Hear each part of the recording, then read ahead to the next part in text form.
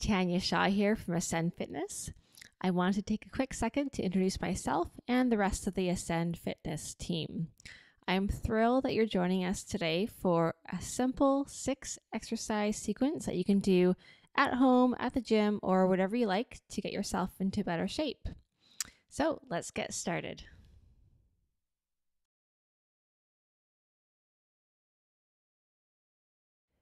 The first exercise is the basic squat. Here, Gord is demonstrating the squat.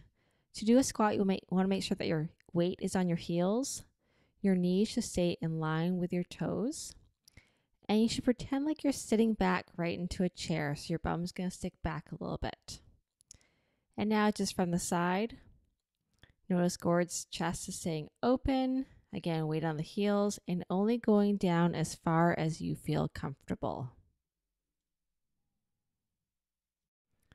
Here's a modifi modification of the squat. It's the wall sit.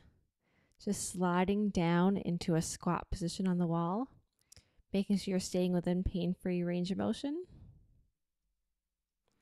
And another modification is the sit to stand. Standing in front of a chair. It's a really great way to learn how to squat. You want to sit slowly back into the chair and then use your leg strength to get back up.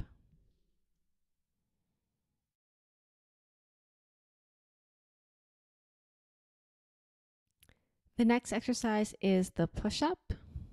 So the first variation is the box push up, starting in a four point kneel or a box position. You're going to slowly lower your chest down towards the floor. The pivot point is on the hips for the box position.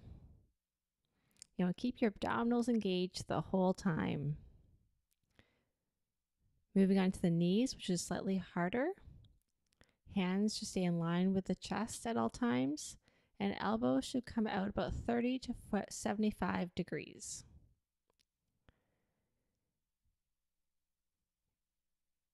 And then finally, the toe push up, which is the hardest variation we're going to do today. Avoid push ups altogether if you have shoulder pain and never sacrifice proper form.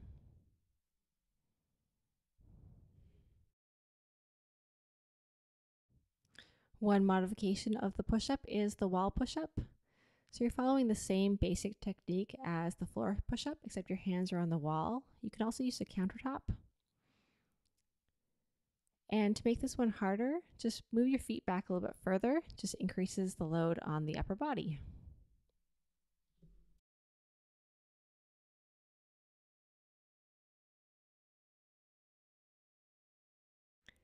The third exercise is the row.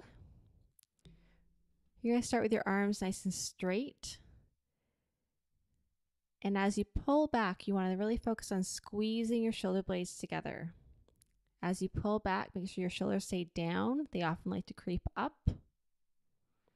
And you want to keep your wrists nice and straight as well. Like all exercises, you want to really focus on keeping your abdominals engaged. We're showing the row with a band. Um, you can also do it with a cable column at the gym, or you can also do the bent over row with weights.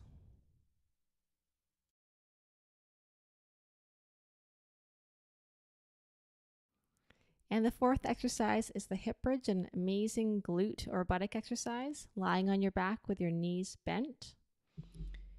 You want to really squeeze your buttock muscles to lift your hips up. You should feel this exercise in your glutes or your buttocks and not so much in your lower back or your hamstrings.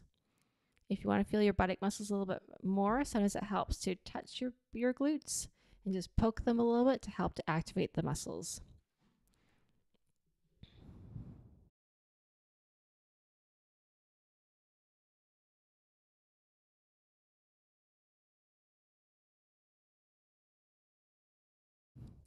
The fifth exercise is the opposite arm, opposite leg raise, starting in a box position or the four point kneel. You want to really engage your abdominals. You want to keep your back in a nice neutral position. And you're going to extend opposite arm, opposite leg. Only reach out as far as you can while still keeping your back in a nice neutral alignment. Sometimes, if you reach up too high, you're going to start to arch your back too much. You can also pretend like you're balancing a glass of water on your back. That really helps to focus on the balance.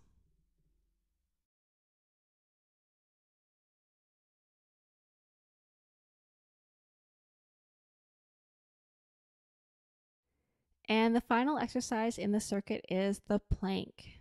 The plank is an abdominal exercise. In this variation, we're doing it on the knees.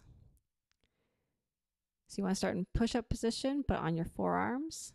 Abs engage the whole time, and the spine should be neutral. Your elbows should be underneath your shoulders, and here Spencer's moving on to the toes. And you should not feel any lower back pain at all only in your abdominals. I hope you enjoy these exercises. Be sure to check out the handouts as well. And for more information, go to ascendfitnesscoaching.com. We'd love to hear from you.